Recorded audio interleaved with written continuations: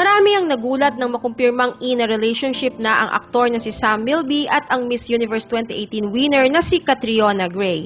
Through Facebook Live ay ginanap noong biyernes ang celebration ng 36th birthday ni Sam na mismo ang mga kaibigan niyang sina John Prats at ang komedyanteng si Pooh ang nag-host.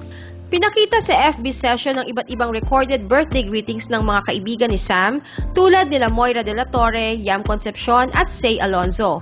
Ngunit ang pinaka nagpakilig na birthday greeting sa aktor ay ang nanggaling kay Miss Universe 2018, Catriona Gray.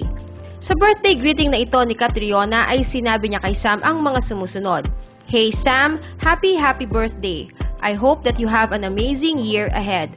More birthdays, more happiness. You are loved by so, so many. Naging speechless si Sam sa greeting ni Catriona. Inaasar pa siya ng mga kaibigan niya dahil dito. Sumagot din si Sam matapos ang ilang minuto. Basta I'm kilig sa message. Super kilig sa message. Hindi ko ine-expect talaga na mag-message. Thank you. Yes, you are very special. Very special.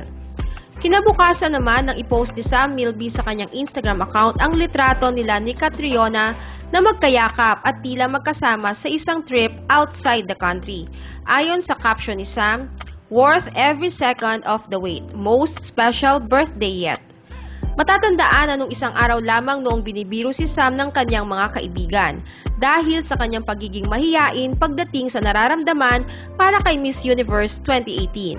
Subalit mukhang ang pagiging mahiyain niya ay isa lamang pagkukunwari dahil umamin na si Sam sa kanyang nararamdaman para kay Catriona at sila ngayon official nang nagde-date.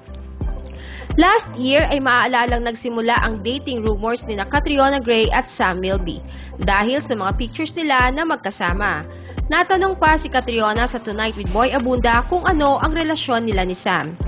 Agad namang itinanggi ni Catriona ang mga ito at sinabing magkaibigan lamang sila ni Sam na nagsisimba sa parehong simbahan at under ng parehong management na Cornerstone.